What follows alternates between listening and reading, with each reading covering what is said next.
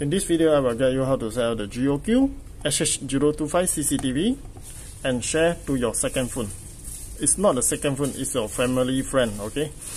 On the first phone, if you already done the setup process, let's say if you have two CCTV, if you want to share two to your friend, family, okay? This is second phone. Both you have to register an account, okay? So we do this CCTV first, okay? We do this CCTV first. Okay, go to the first CCTV, have a setting, right? And then you go to the visitor management. Okay, share this CCTV do not have any share user yet. You have to click add. You need to you can choose if you want to be operator, operator or visitor also can. Okay, so input the new user APP ID.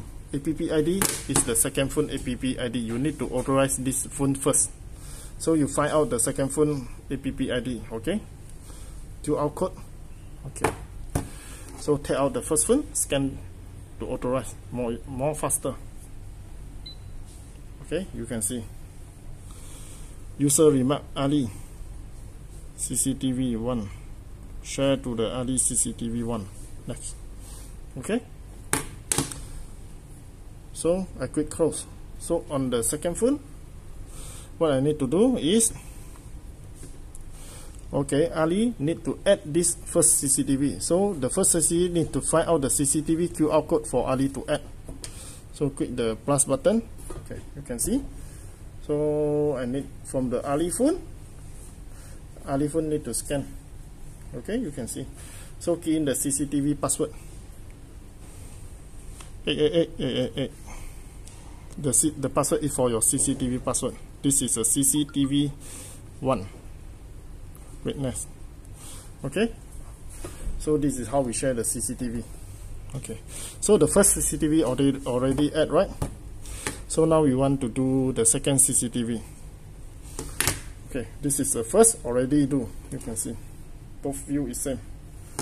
So we want to do the second CCTV so what to do now? This is second CCTV same CCTV has a visitor management okay? Just treat as your second house. Visitor management okay? You can see not yet share. The second CCTV not yet share to any friend family. Just click add okay? Input new user ID okay? This one same. You need to find out the user ID first. This is second phone. Click the QR code. This is the ID scan okay app ID then I remark this is my second Ali. I share to Ali CCTV 2 I just name 2 okay then I click next. Okay I want it to be operator also can. I just choose operator only. Click next. Okay? You can see. So the second CCTV Ali permission is operator. Okay? Okay okay so what I need to do now on the second CCTV uh, this one uh, second CCTV click the edit click the QR code. Okay so the second phone. Okay now Ali want to add the second CCTV second phone want to add the second CCTV click the add button. So scan. With the input device ID okay click this. Scan. Okay you can see. So same each CCTV have a password okay? You better use your own password. Default password is 6 digit of 8 so I can name CCTV number 2 okay then I click next. Okay you see. Two CCTV on the list okay? Can view. Okay this is how we do the sharing. Thank you